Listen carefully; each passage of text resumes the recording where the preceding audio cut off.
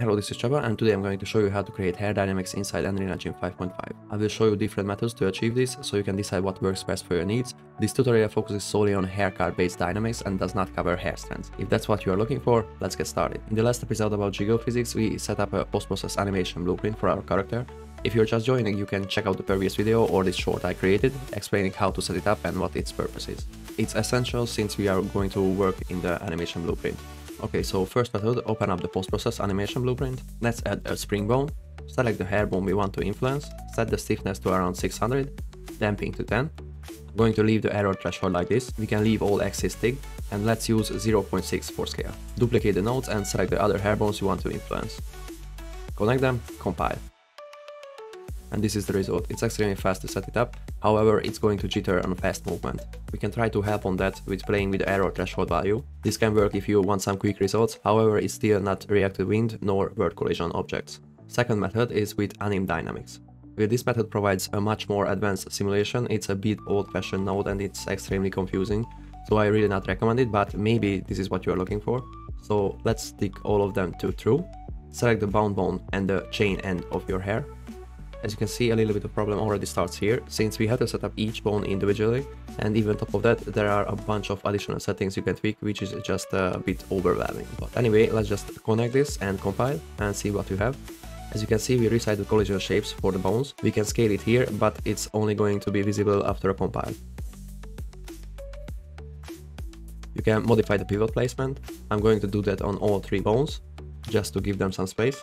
Under the settings you should lower the linear acceleration rate to around 5000 and set some minimal values here like 0.1. Here we can add an actual collision for which the hairs will collide. I'm going to select the head bone and increase its radius, add another one for the neck as well, compile it, and place them around the shape of the head and the neck. You can also add and should add uh, planar limits as well. The arrow here faces the direction that the bones can move, so I'm going to rotate it away from the head and place it around the edge of the head. Now we can lower the scale to around 0.4. In the separate options for each bone you can tweak and fine tune your bones with angular and linear limits and so on. But I'm not going to do any of that.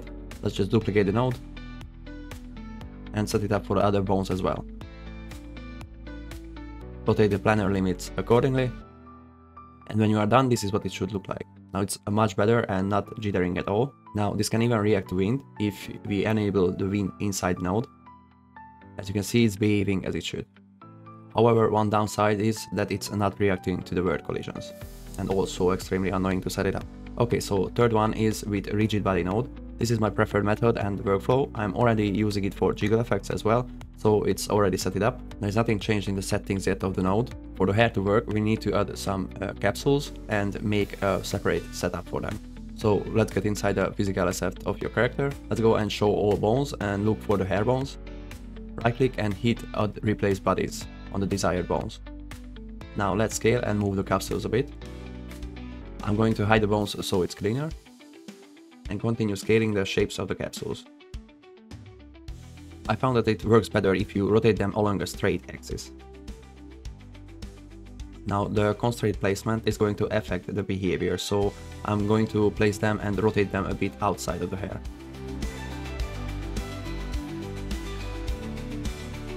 Now usually for parent bone you want to select kinematic, then simulate for the child bones, but that needs some additional setup and I don't want to get into that since it can work just fine with simulate as well. We'll select simulate for all hair collision shapes.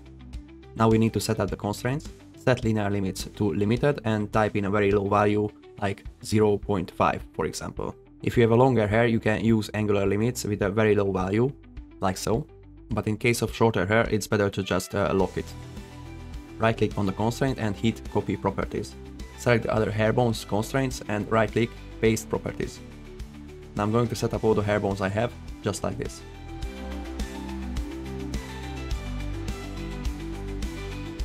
You can always fine tune the shapes and placement later if it's not working as expected.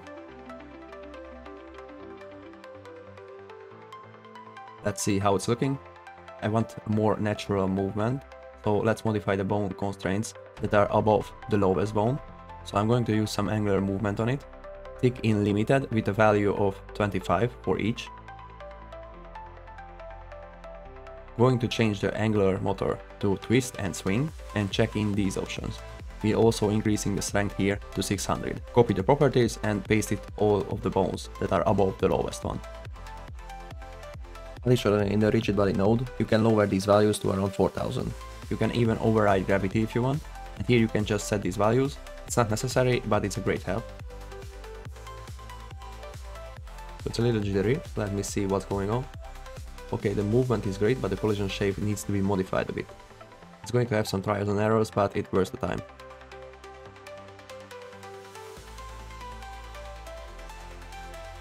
Okay, it's done. One other thing you should also set is collision. As you can see, if I simulate now, it goes through the head. What I need to do now is right click on the capsule and hit enable collision. And now if I simulate it, it's colliding properly. And this is the result. And it's reacting to the bird collision as it should. However, it's not reacting to the wind, so we are going to solve that issue now. Let's open our skeletal mesh, select your hair, right click and create clothing data. Select it, then go to activate cloth paint. Down below you have a brush settings and at point values you should set 5 and 0.5 for strength. I increase the radius as well and I'm going to paint the lower part of the hair now. You can isolate your hair if you tick this in, if you don't have a separate hair object. To be able to paint through the mesh you should untick ignore backface. The paint value defines how far the cloth can move from its original position and how much it can stretch. These values are measured in centimeters, so think of it it's like telling the cloth physics system that we want this lower part to stretch a maximum of 5 centimeters away from its original position. So for the middle part we want to decrease it to 2.5. It doesn't matter if you skip some part, we are going to blend them together with smooth.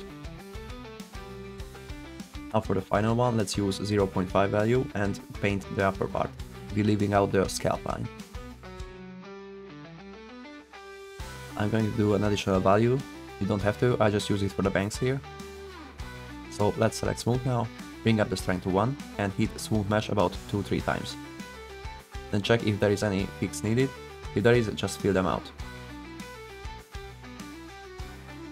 We can deactivate the cloth paint now, select the hair, right click, then apply clothing data. Now we are getting this result because of the collision shapes we set it up earlier. To fix that we need to duplicate our physical asset, reanimate for something. Then in this duplicate, select all hair shapes we created and delete them, and modify the head and neck shapes a bit to be more fitting. You can use tapering capsules as well. Now that's done, let's get back to our skeletal mesh. Under physical asset, select the duplicated one, and now it's all good, but we are not done yet. Under this tab we can increase the simulation quality, but keep an eye on simulation time here. If I'm going to increase this to 2, our simulation time increased quite a lot. Since we want it to be a game character, it's not really good for us, so I'm going to rewrite this to 1. The values we are mainly looking for will be under cloth config. So first is mass properties, you can change this to a higher value to appear more heavy or decrease it to act more light, but usually I leave it on the original. Next one is material properties. What we need to change here is bending stiffness. The edge stiffness will give you some Medusa kind of effect if you lower it, so we don't want that but the bending can help reduce hard edges, so let's lower it down to 0.1. Next is long range attachment. So both values has to be a low value like 0.1. Under collision we can change the radius of the collision and the friction. The friction in case of hair cards have you stick them together. So I'm going to crank it up to max. CCD again is a quality option but it's even more expensive than the subdivision version. So I'm going to skip that. In the environment properties, the damping coefficient should be set to a really low value, like 0.001 or really fast saddle effect. We should add a little bit of drag to it as well, so it has a smooth flow to it. And the last one is anim stiffness. Here we should set a value around 0.4 to retain the original shape as close as we can. You don't want to add too much because it's going to block the whole cut animation. And this is the result. As you can see, the wind is now affecting the hair. This is without wind. I'm going to show you what it looks like without the rigid body. As you can see, it doesn't have that extra lift effect that you can get with rigid body. So I'm going to plug it back in. And as you can see, it's reacting to every kind of force now. So that was my preferred way. So let's see the last one quickly, which is Kawaii Physics. This is a third-party plugin, which you have to download. I will leave a link in the description. You should select the version you have, download it, extract it, and copy it to your project folder. And after opening your project, you will be able to see it under the plugins. You might have to untick context sensitive to find it, but this is the node we are looking for. Under root bone, you can select the bone you want to influence. For external force, set up some low value like 0.2. You can enable wind here. I'm going to remove the clothing data now. And you can see that we immediately getting some results. Now to set up some collision value, create a data asset and find Kawaii Physics limit data asset. Open it up, select your skeleton. If you try to increase the radius, you won't see nothing yet, because you need to select the driving bone first, which is going to be the head, and you should link your data asset to the node itself here. Now you can scale it and rotate it to match the head shape. You can even add additional collision shapes, for example, to the neck. You don't have to if you don't want to. Duplicate the nodes, select the bones you need. If it's too harsh, you can use again the scale value to tone it down. To use the wind, just tick it in. You can expose the pin, you don't have to do this. I'm just going to create a float variable for it and set a 0.2 value and connect it to the wind. And this is a quick result. You can fine tune your values for stiffness and so on, but from start it set the optimal ones for you. For to be able to react to collision, you need to tweak the custom collision values inside the node. So it's also really fast and great way to create physics, however I don't really dive deep into this one since as I know it can cause problems when it comes to packaging games and it's already an annoying process on its own, so I usually stick with my method. So anyway, that's it for today, I hope this helped and that you learned something new. If you did, please leave a like, subscribe and I will see you on the next one.